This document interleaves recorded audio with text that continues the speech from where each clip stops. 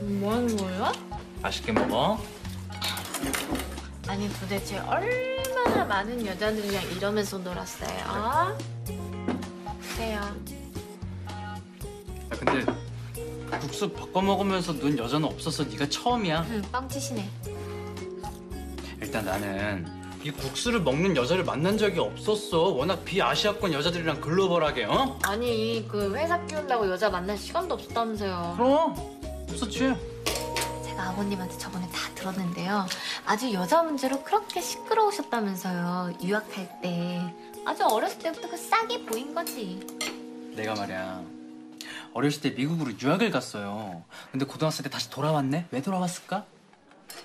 그 나라 여자들이 아주 날 막 못 살게 굴었다니까. 엄마? 어, 이러다가 하이드파크에서 여자들의 질투와 욕망의 대상으로 지도수도 모르게 갈 수 있겠다 싶어.